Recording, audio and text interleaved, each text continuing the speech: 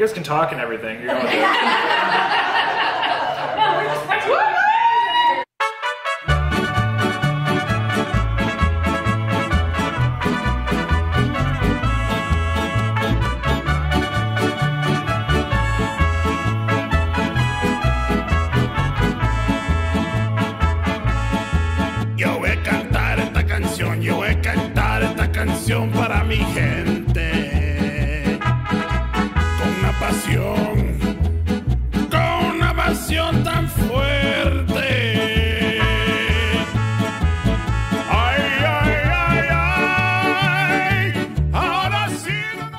Joel Hansen here, and today we're at Tacos La Chula, Tacos La Chula in Orange, Texas, right, the Beaumont, Texas area, here to do the Gusto, the Gusto, the Gusto Burrito Challenge, guys. So this is a massive, massive burrito. This is a 10 pound burrito, a 10 pound burrito.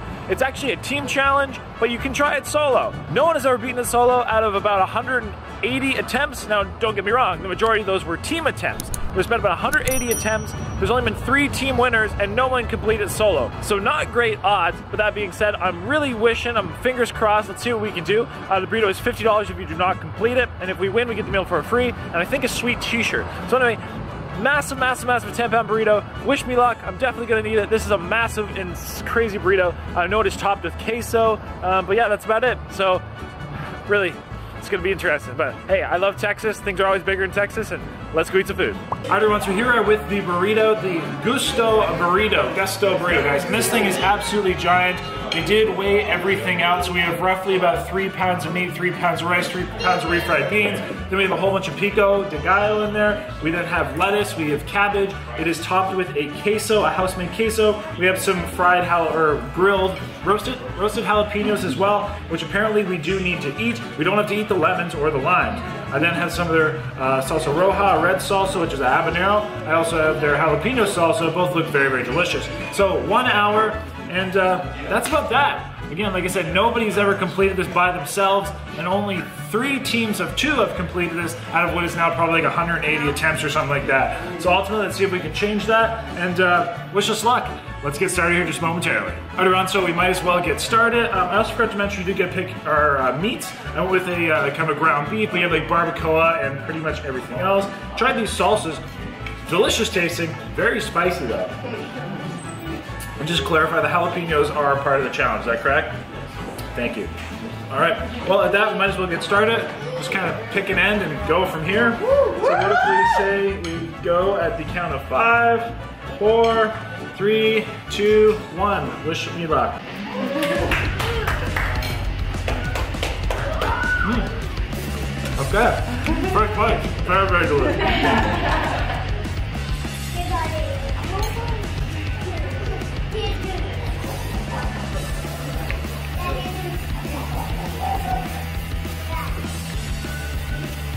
Queso was actually really, really good flavor. The meats are fantastic.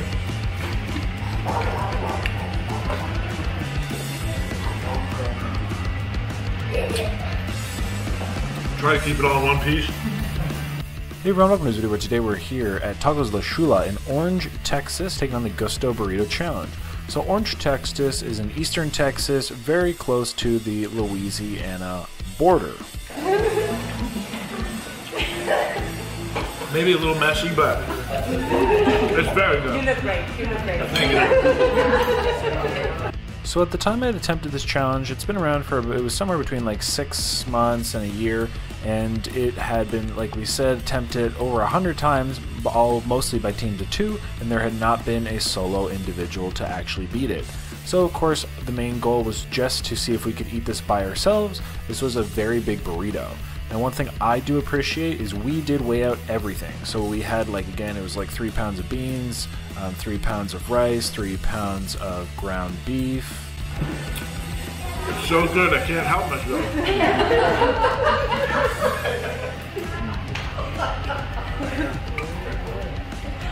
Really, the flavors are absolutely delicious. Then there was the tortillas and the cheese, like the queso sauce, um, also the jalapenos. We went the very large jalapenos; those weren't weighed, so it could even been a little over 10 pounds. But again, for my challenge, we weighed everything out. Man, this dude, this dude is my hero. man. gonna give him his own special day at the city of That is the mayor, so maybe it'll be a Joel Hansen day. So I really appreciate the authenticity, and I can say with full confidence that mine was 10 pounds. And uh, like I said, definitely, definitely a big, big burrito. So the burrito itself was absolutely delicious. It was so, so good. The refried beans and the meats were seasoned. Sticky hand. Mm. But damn good. Like the cheese, the cheese sausage is fantastic. The seasoning of the meat. They have like a lovely aioli in there. I have no complaints. Here's my cook. He's watching you there.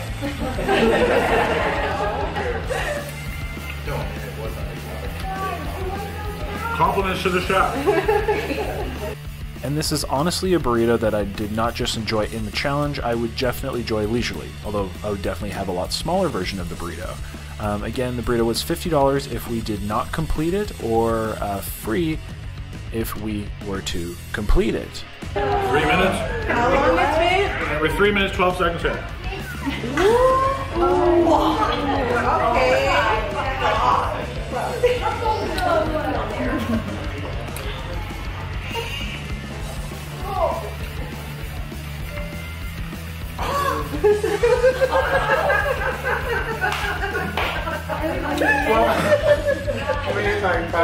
Everybody stopped there all the time. Three and a half minutes. Oh, yeah, two people.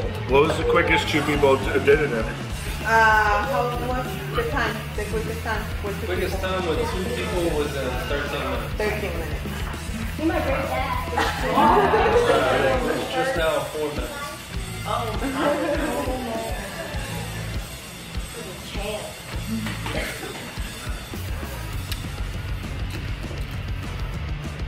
Can I get a spoon, please?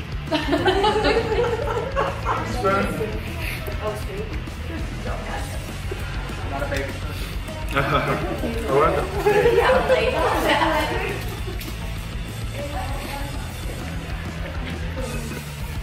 Fortunately, that's the biggest spoon I get. Thank you. I have a fast. Yeah. And even like the queso sauce, the cheese sauce on it was fantastic. Uh, very, very tasty. It was a lot of fun. Like we even had like the mayor come on out to the event. And I will say, just from both the uh, actual challenge, like the taste of the challenge, and the experience overall with the staff and everything, the patrons that came out, um, this is definitely one of my uh, like favorite challenges in the last little while for sure.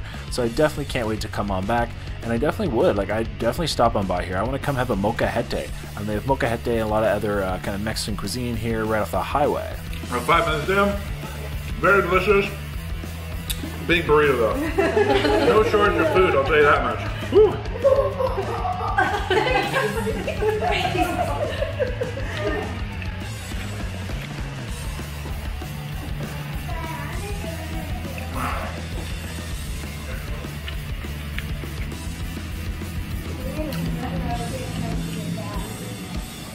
Whereas this part is kind of just like falling apart, but nonetheless. So we were kind of taking our time with this. Um, you know, obviously we are going at it, but we were, we had some wiggle room. We had some fun. Again, no one had actually beaten this solo, and then the record for the two people was just over 13 minutes. I have seen this burrito also been created since, and uh, some of them look a little smaller, a little flat. So I'm not sure if they changed up maybe some of the rules or changed up the sizing of some of the burritos. Um, but definitely, kind of if you look like how round my was compared to some of the other uh, visuals that I've seen, um, seemed a little smaller. So if you wanted to try it, maybe it's coming out a little smaller than once was. Um, you know, you'll have to obviously contact the restaurant to find that out for sure but uh, definitely a really, really, really cool challenge. And of course, you can also just like order this burrito and share it with your family. I mean, like you could honestly feed probably like six to maybe even 10 people with this thing if it, you know, being 10 pounds. And a really great deal for, you know, what, 50 bucks? Um, but yeah, so like I said, very delicious burrito. Really was enjoying it. Um, overall, again, just very, very flavorful. Um, but that's pretty much all the information I think I have for you today. Uh, definitely, like I said, if you're ever in the area, stop on by and give it a try. Um, I was there in early July, Um, now, if you're wondering how you can find out where I am going to be and find out where I will be eating next, um, definitely check out my YouTube community tab. So definitely hit that subscribe button down below so you'll get the notifications of my travels. And also follow me on Facebook, link in the description, and or on my website, joeleats.com. I post my travels, my schedule on there as well. So definitely check all those out. So about seven minutes in, still doing pretty well. Woo! Filling up, but tastes delicious. and I really look forward to meeting you all at a future food event. So, with that, everyone, thank you again. Really appreciate that. Um, if you liked the video so far, hit that like button and uh, comment down below. What's your favorite meat in a burrito? I honestly think mine is probably. Hmm, this if, if, it's, if it's ground beef like this, this was amazing. But otherwise, I really like like pulled pork or a carne asada, something like that. So comment down below and let's get the video. Let's.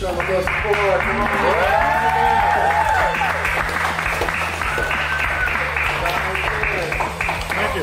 Okay, we go. Like I said, you guys can talk and everything. I think everybody's just amazed. Thank you, thank you. You were close, actually. You're, I, was, I was very surprised. Excuse me. I, I was thinking like 30 minutes. Excuse me. Woo. Now I got way more room. Oh my god. Excuse me. All right.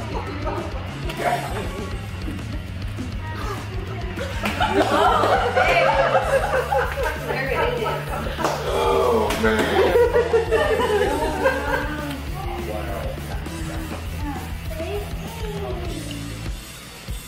Last few bites of the burrito, and then just jalapenos. Jalapenos. Which are big jalapenos. Yeah, it's gonna be spicy. Cheese jalapeno. Gonna try. Thirty-three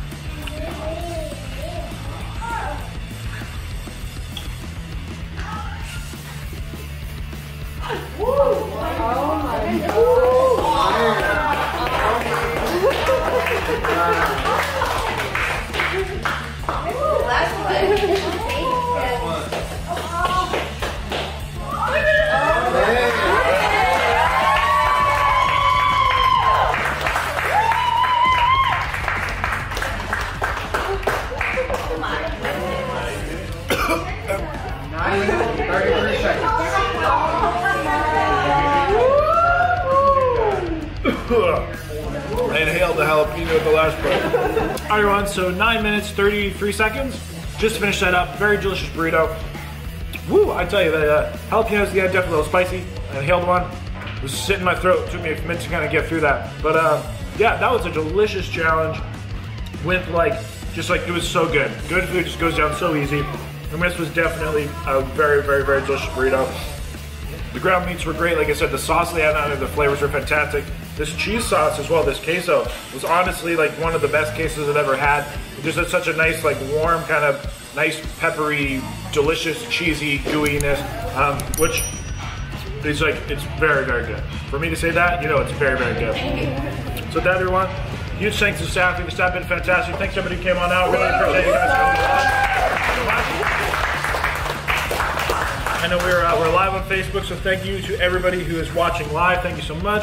But that everyone, for that we do get the meal for free, which is pretty cool. Um, the fifty dollar burrito. We get a T-shirt or anything? Yeah.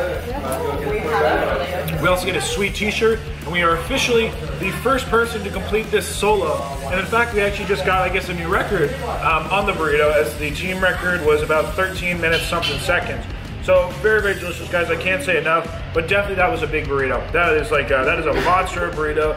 Do I recommend anybody eating this much in one sitting? No, but definitely come order one of these burritos with your friends, couple family members, something like that. This was so delicious.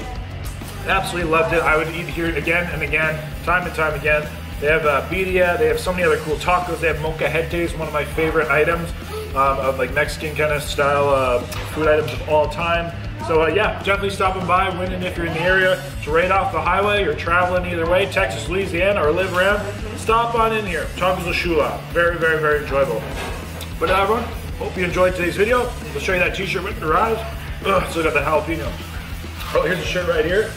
First one, come show it up. You can hold it on the camera if you like. Tacos La Shula. Beautiful. And the back. Gusto Burrito Challenge, or Champion. Sorry guys, I'm trying a little bit. So everyone, I hope you enjoyed today's video, and uh, that that's pretty much about that. Thank you again, and uh, until next time, first everybody, say happy on hungry, happy eating, and uh, happy on the day. I got cheese all over. Thank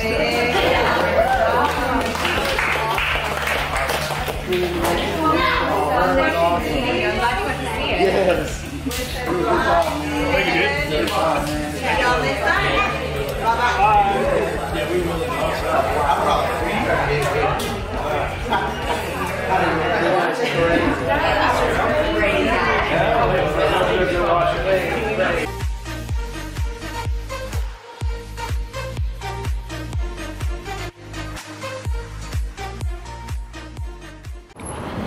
So here we are right downtown New Orleans, Louisiana.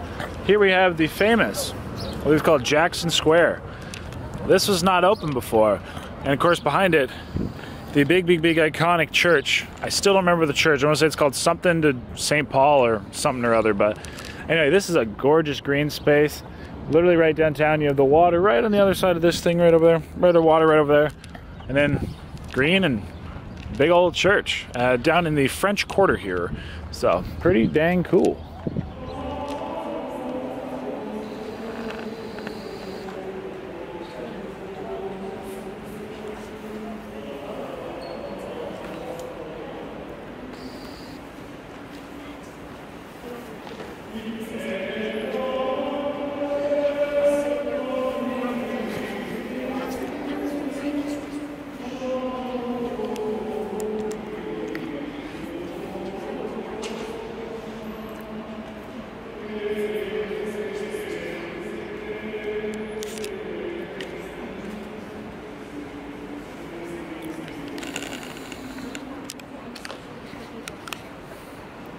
Furthermore, down here in the French Quarter, having all the old buildings, very the Europe, old European style looking buildings.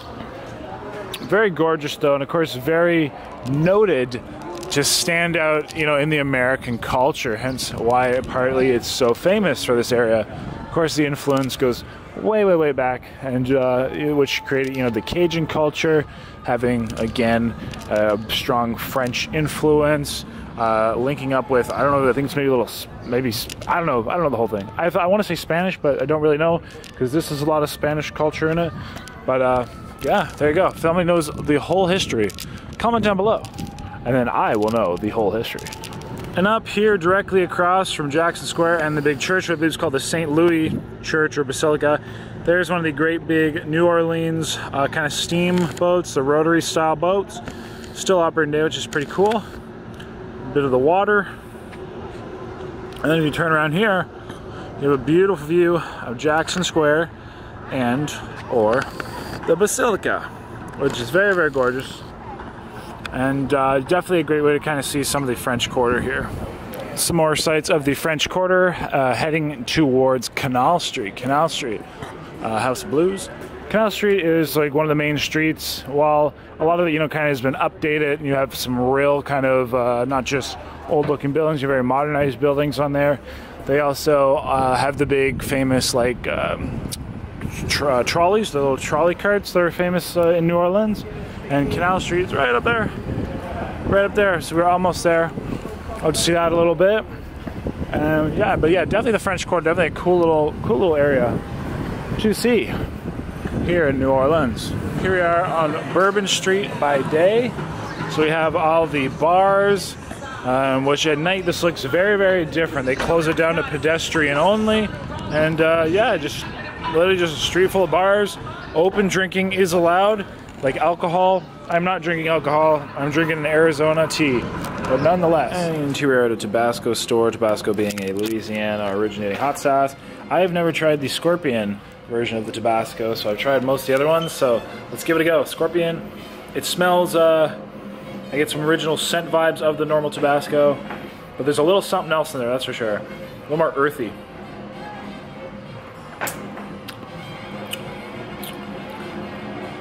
Woo! Yeah, that kicks. So the scorpion is the hottest organically, naturally grown pepper. Things like ghosts, and reapers, those are all hybrid, those are manufactured. Yeah, that's crazy. Yeah, this is definitely a hot one. Yeah. They said, uh, little bit, too. It said about 20. Walk for the next one. I just need to get out of my throat. One sec. Yeah, so it's uh, I kind of inhaled hottest it. thing we've ever done, for sure. I will say the flavor's pretty good. That's the key. Still I inhaled it. flavor.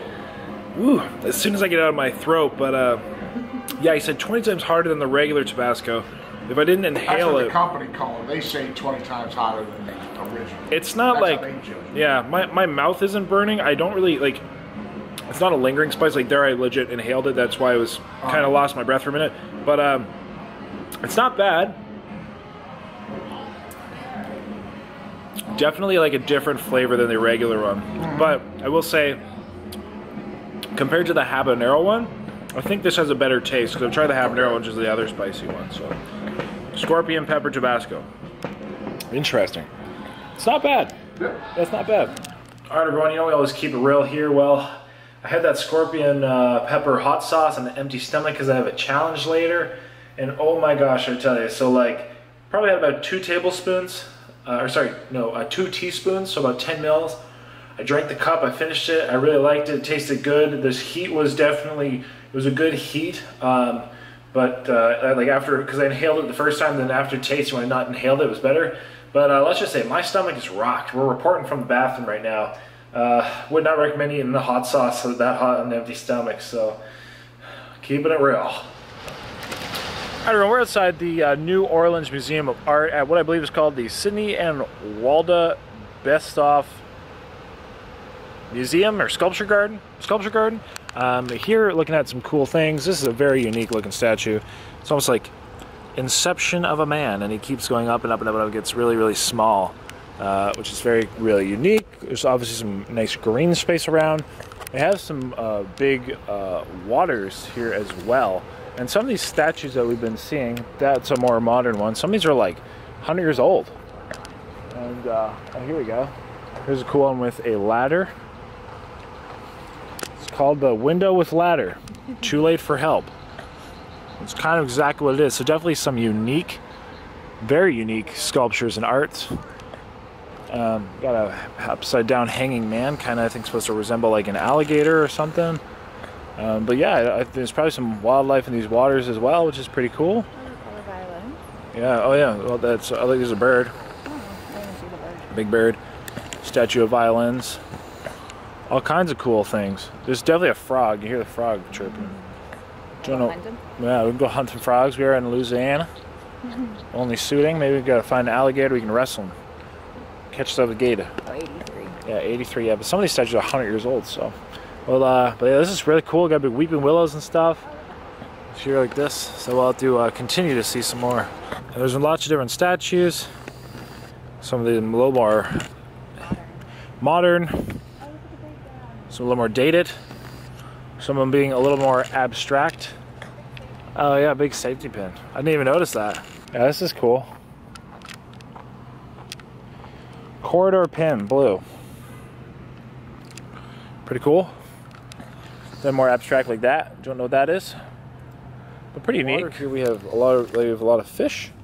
Oh, I don't know if you guys can quite see them. You can probably see them there a little bit. See they're moving a little bit, a little bit right there. Fish. We saw a turtle. There's lots of little lizards, little anoles. Very, very beautiful greenscape. We definitely heard some frogs. We Didn't see them yet, but they got lily pads. A little bit of that swamp moss. Oh, look, we got air bubbles right there. I don't know what that was. That was a something something. Yeah, pretty cool. Lots of interesting uh, statues to be had. And then here on the break, we have a whole bunch of big turtles hanging out. We have some. Oh, and there's some duck over there. We have this. I, I don't know if this is supposed to be a maybe a crown of thorns or big barbed wire, but a big gold ring. It's called the sun. It was very interesting. Got some more abstract, woody, rock-looking ones. The trees, the uh, the just even just the the horticulture here is fantastic. Like They're beautiful. Uh, you guys can't really see it that well with the light, but kind of like this. Just very gorgeous. This is like a fairy tale tree that you would see.